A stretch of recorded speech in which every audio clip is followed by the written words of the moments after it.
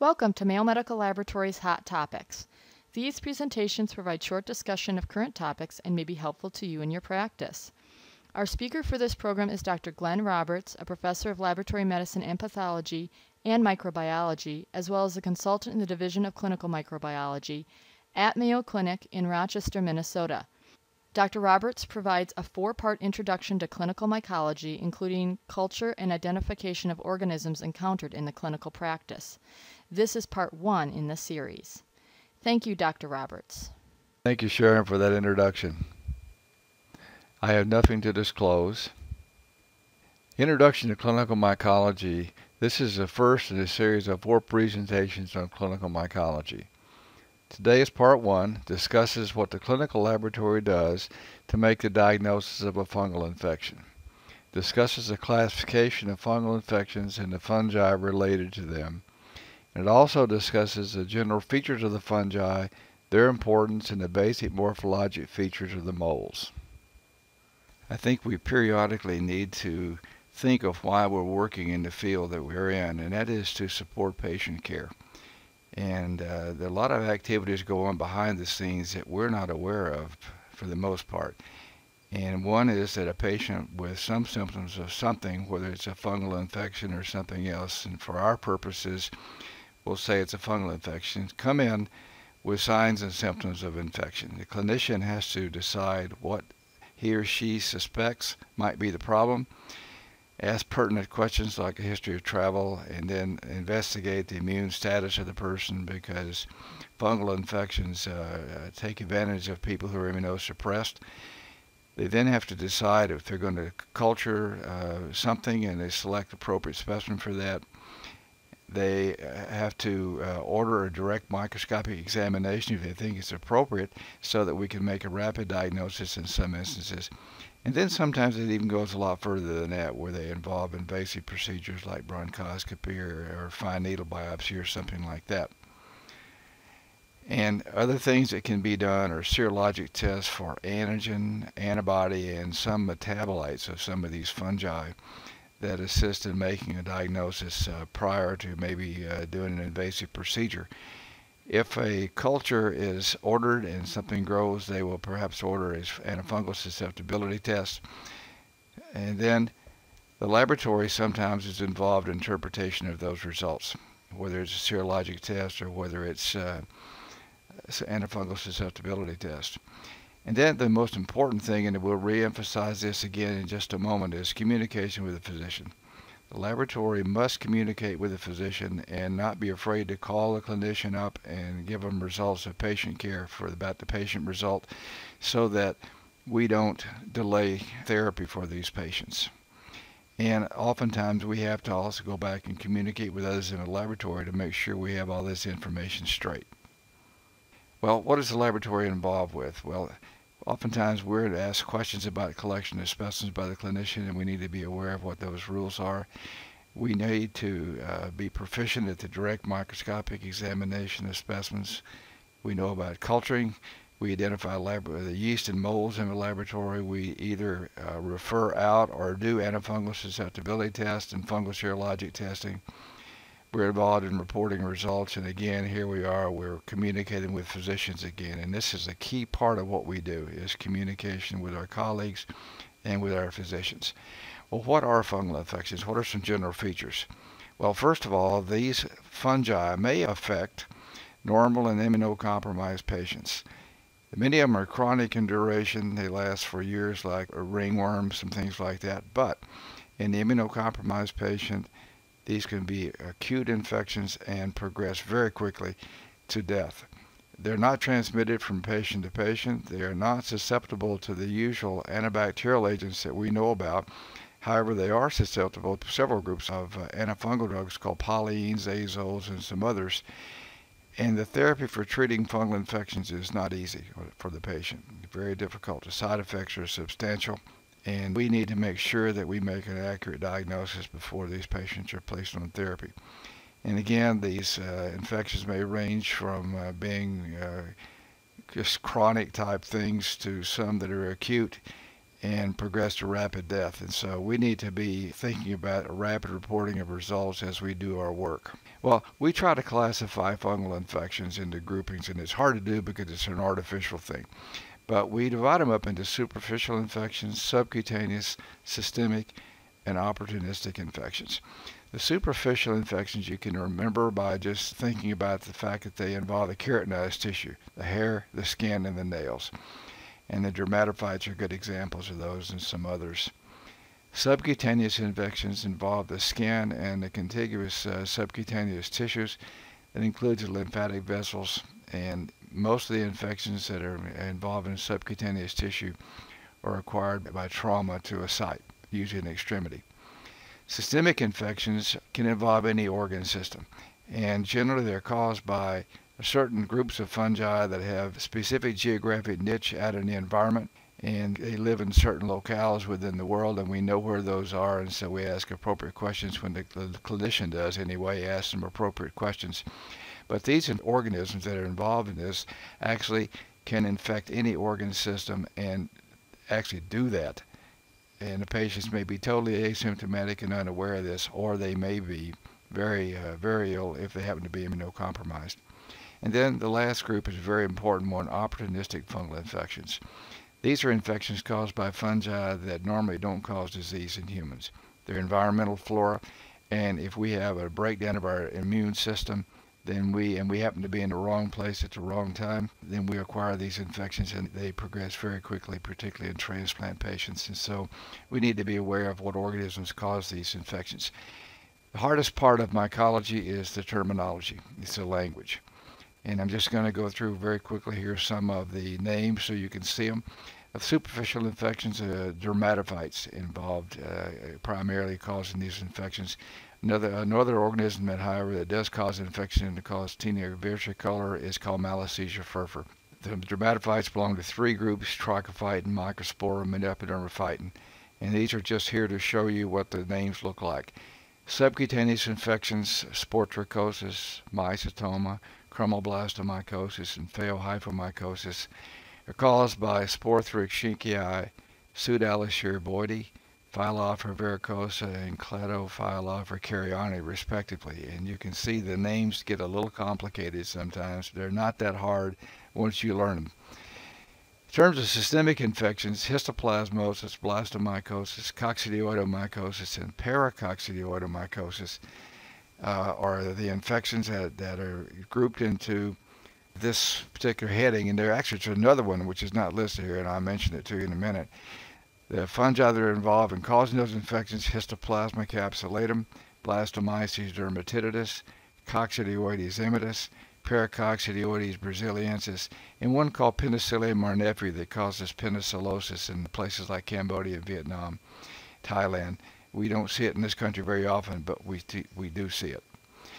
Opportunistic infections, uh, examples are candidiasis, cryptococcosis, aspergillosis, zygomycosis, and a whole lot more. The list could go on and on because we see organisms that we have never thought would cause disease, cause disease in patients here and cause substantial infection and oftentimes leads to death. Some of the organisms related to that, Candida albicans, Cryptococcus neoformans, Aspergillus, Rhizopus, Mucor, and a number of other of the Mucorales, Fusarium, uh, Acremonium, Trichosporon, and many others. Let's talk about the fungi in, in, in, general here just a moment. They are eukaryotic cells. They have a cell wall, they have a, a cell membrane, and the cell wall is made up of poly-N acetylglucosamine. And the cell membrane contains ergosterol in contrast to mammalian cells, which contains cholesterol. And the reason for that I'm mentioning this is that there are certain of these antifungal agents that actually bind to the cell membrane that has ergosterol in it. They're heterotrophic. They break down in organic matter to get energy sources for themselves, decaying matter. They are not susceptible again to the usual antimicrobials. They reproduce sexually or asexually. Most of the time in the laboratory, we see the result of, of asexual reproduction of spores. They may be monomorphic, which means they have one form, a yeast or a mold form. They may be dimorphic, and that is that they have a yeast and a mold form or another type form And then some of them actually produce more than two or three forms, and they're called polymorphic. So reproduction by these is usually by asexual spores, and that's what we see all the time when we look at these organisms underneath the microscope. Examples of the fungi that, that you'll be familiar with are yeast and molds, which we'll talk about, mushrooms, puffballs, shelf fungi, the morels, which I'm sure some of you have collected, plant pathogens and animal pathogens. And some of these are very substantial things that are involved in causing disease of plants and animals. One of the things that the fungi uh, are very have a very important role in doing is keeping the carbon cycle going. They break down uh, organic matter, decompose it into carbon. They cause disease in trees, for example, like Dutch elm disease, which is a devastating thing for a, a population of trees, and they, they, we lose them all whenever they get Dutch elm. Crop diseases. Wheat, corn, barley, corn smut is one of those examples of that. And we actually have seen patients who have had disease caused by corn smut. Wood and timber degradation, if you look at wood, you'll see that there's some purple to blue material sometimes on there where the wood gets broken down by these fungi and it damages it. Another very important thing is these fungi can cause spoilage of food, particularly grain. And in developing countries where grain is a primary staple, the grain will get uh, infected with a fungus and produce a toxin called aflatoxin if it happens to be infected with aspergillus. And actually cause substantial disease in these patients and oftentimes liver cancer. And where would we be without the fungi in the brewing and baking industry? We'd be nowhere because the yeast are the things that cause fermentation. So they play a major role in that. Well, what are these fungi in general? We mentioned they're heterotrophic. They break down organic matter. They have chitin in the walls. They have ergosterol in the cell membrane. They have an organized nucleus. They reproduce by asexual spores, again, most often. And if it happened to be a mold, they produce hyphae, which you can see on this uh, left-hand photograph. They're nothing more than filaments that look like garden hoses underneath the microscope. And if it happens to be a yeast, they produce single cells that reproduce by budding, and oftentimes a few more structures in there. So just to give you an idea of some of the terms, some more language, if you will, to learn, we have terms that we use to help us describe what we see under the microscope to make it uh, a little easier for others to understand. Well, if you look at a mold on a culture plate, you'll see the colony there, a fluffy colony. And in our laboratory, we call them fuzzies. If you look underneath the microscope, you'll find out they're made up of these hyphae. These are filaments that have parallel walls. They look like small garden hoses.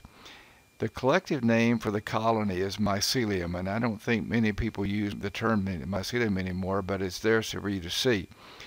The hyphae, these garden hose type structures, may be divided up in compartments by some structures called septae. And so we talk about septate hyphae and we talk about non-septate hyphae, which don't have any of these division, these compartments in them.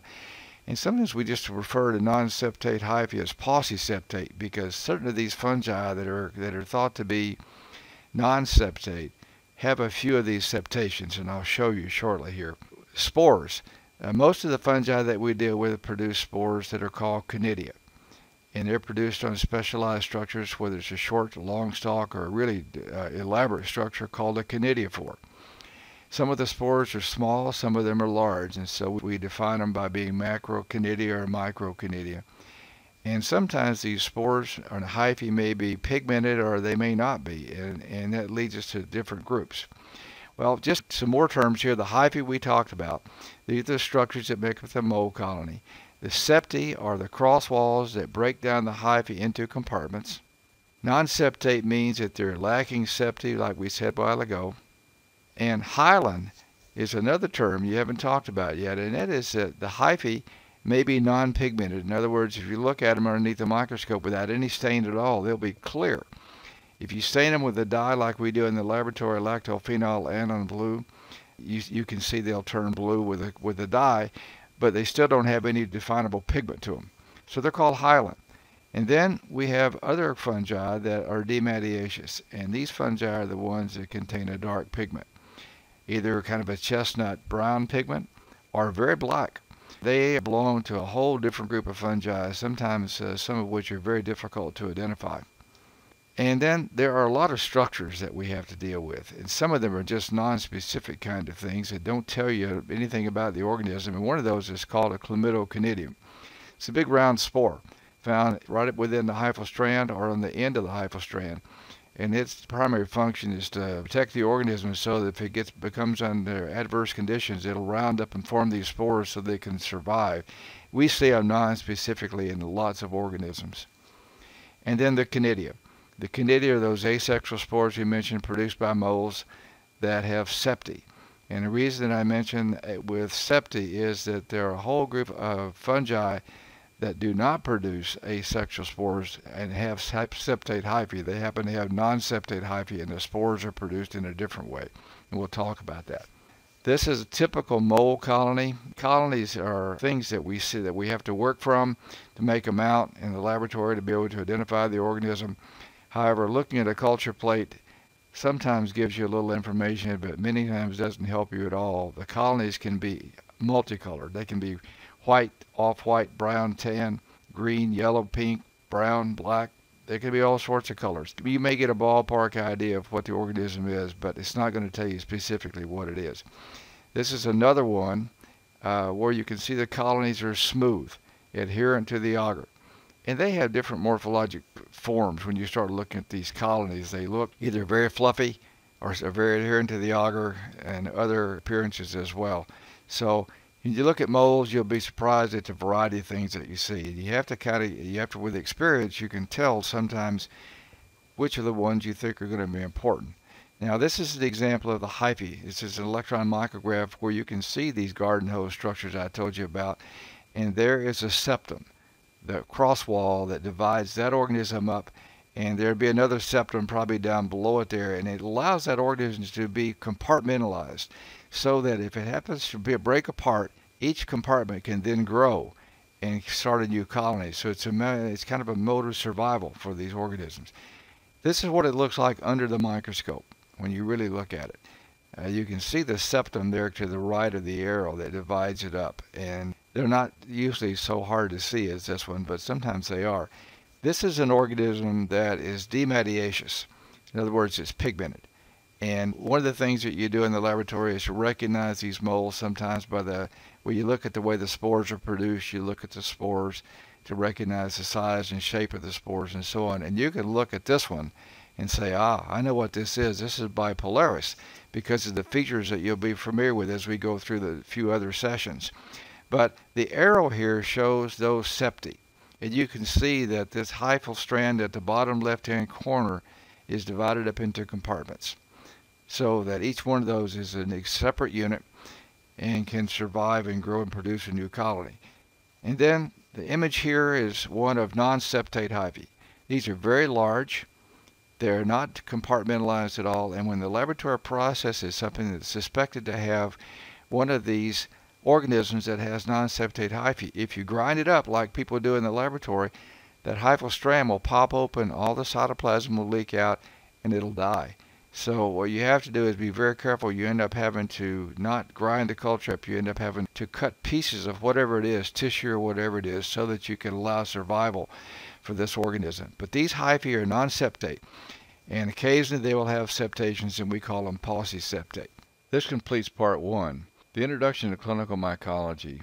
Future presentations will be part two reviews of basic structures of molds and yeast, presents a brief introduction to the direct microscopic examination of clinical specimens, and also media that are useful for culture. Part 3 presents specific information on the culturing and incubation of cultures for the optimal recovery of fungi. And Part 4 presents the methods for identification of fungi, primarily molds, and some helpful hints for working within the clinical laboratory.